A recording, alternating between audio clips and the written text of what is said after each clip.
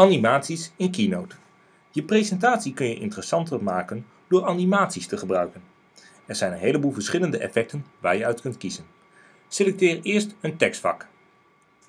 Ga nu in het infoblok naar het tabblad Animatieinfo. Daar kies je voor effect. Je krijgt nu een lijst met effecten die je kunt kiezen. Kies voor het effect Pogo Stick.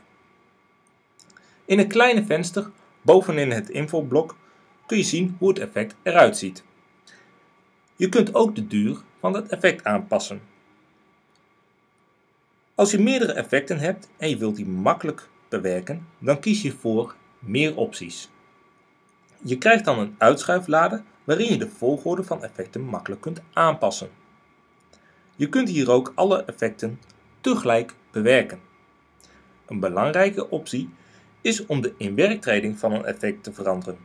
Dat staat standaard op muisklik, maar je kunt ook kiezen voor automatisch bij effect, automatisch na vorig effect, automatisch na overgang.